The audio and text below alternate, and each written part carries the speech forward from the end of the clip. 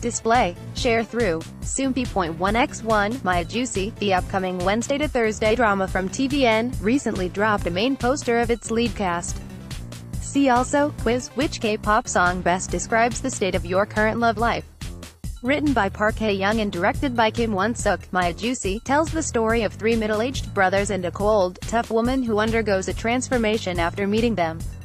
Soompi. Display, News. English .300 x 250, BTF Soompi.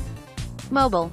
English .300 x 250, ATF The three middle-aged brothers are played by Lee Sun-gyun, Song Sae-byuk, and Park Ho-san, who replaced So Dol-soo after the latter was accused of sexual assault.